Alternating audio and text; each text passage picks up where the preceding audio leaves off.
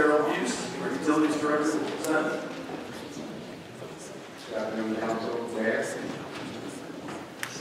Uh, tonight, the utility Department is requesting your approval to purchase a backhoe to be used in the excavation of uh, utilities. Uh, this vehicle is a five-year, life.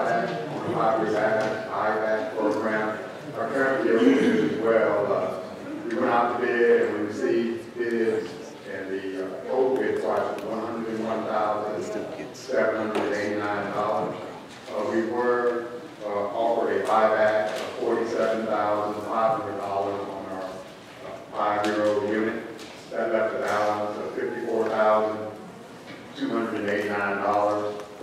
And, uh, we did only receive one quote for this particular piece of equipment from Flint Equipment here in Valdosta. Uh, we went back, reviewed some previous bids to ensure that price was consistent with prices that we had received earlier this year, and it was within two thousand dollars of those prices. So we are requesting to uh, proceed with that purchase. This unit does come with a five-year warranty and uh, bumper-to-bumper warranty. Everything was rubber, so if anything goes wrong with the vehicle over the next five years, they bring us a replacement about that much being repaired. Questions for Darryl there, well, uh, any questions? About that Tonka truck he's got up there?